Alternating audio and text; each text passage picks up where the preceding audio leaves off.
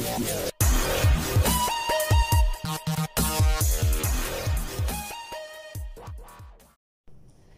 Guys what's up नमस्ते सत आदाब सलाम वालेकुम। मैं आपका भाई खोसल और आप देख रहे हैं गोरखा रिएक्शन चैनल सो उम्मीद करता हूँ मेरा बनाया हुआ वीडियो आप लोगों को काफ़ी पसंद आ रहा होगा। पसंद आया तो नीचे अपनी कमेंट में जाके मन की बात ज़रूर रखिएगा, ताकि आने वाले दिन में भी कुछ कुछ कमियाँ लग रही हो तो मैं जल्द से जल्द उसको ठीक करूँ। सो आज चलते हैं इंडिया के सबसे दो तीन खूबसूरत जगहों के विज़िट करते हैं सो देखते हैं पहला कौन सा जगह है सो देखेंगे Shillong the aerial view of Shillong tribute to Meghalaya so बहुत ही खूबसूरत जगह है और बहुत ही ठंडी रहती है, बारह महीने ही ठंडी रहती है, बहुत प्यारी और बहुत ही अलग किस्म की जगह है सो देखते हैं कैसा है, उसके बाद रखते हैं अपनी मन की बात सो वीडियो में अंत तक बने के कैसा लगा नीचे कमेंट में जाके ज़रूर बताएं चलिए बिना किसी देर की three two one start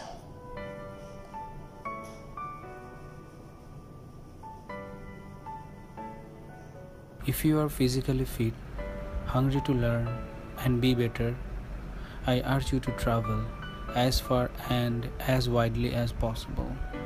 Sleep on the floors if you have to. Find out how other people live and eat and cook.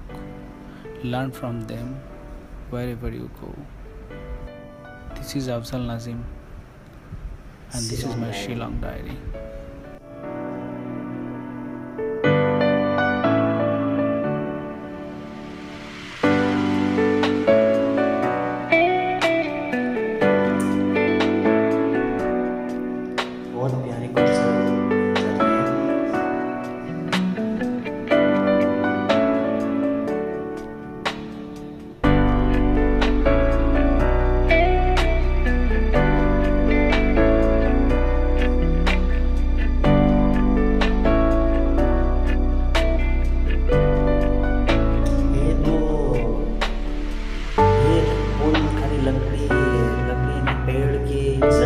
I want to.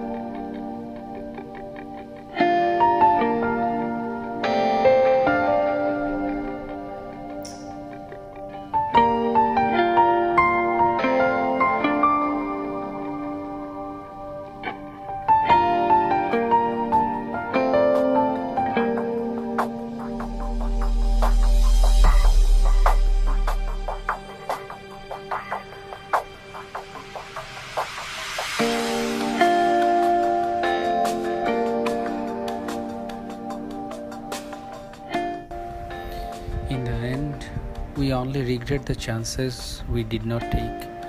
So live in the moment and make it so beautiful that it will be worth remembering. तो video हुई यहाँ पे ख़त्म भाई Meghalaya India का एक बहुत ही खूबसूरत स्टेट है और वहाँ पे ज़्यादातर ठंडी रहती है और बहुत ही प्यारी प्यारी नज़ारे थे और ज़्यादातर आयरन ब्रिज दिखाए गए। मेन सिटी पे ज़्यादा नहीं दिखाए गए, लेकिन उनका जो जो एट्रैक्टिव पॉइंट है, जहाँ जहाँ पे टूरिज़म होते हैं tourism people tourism sector increase किया, वो जगह दिखाई थी।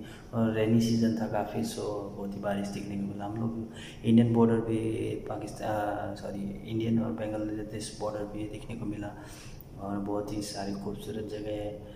एक बार विज़िट किया हूँ, शिलोंग सो बहुत ही खूबसूरत है और इतना साफ़ सुथरा, बड़े एकदम कंजस्टेड नहीं है, जो ओपनली है रोड भी बहुत ही खूबसूरत है, बहुत ही एडमिनिस्ट्रेशन ने बहुत ही यहाँ ध्यान दिया है उस चीज़ को और ज़्यादातर हेवी रेनफॉल्स भी होती है तो उसकी वजह से रोड पे कई सारे ब्लॉकेज आते हैं, तब पर भी बहुत ही क्विक सर्विस होता है वहाँ पे सो बहुत ही प्यारा वीडियो था और बहुत ही खूबसूरत खूबसूरत नज़ारे देखने को मिला, ज़्यादातर सी वाटरफॉल्स देखने को मिला और बहुत ही प्यारा प्यारा। सो आपको कैसा लगा? सो उम्मीद करता हूँ आप लोगों को भी पसंद आया अगर आपको जाने का एक मौका मिल जाए तो ज़रूर जाइए, जाके विज़िट करिए। बहुत ही खूबसूरत स्टेट है और आपको रिग्रेट नहीं होगा।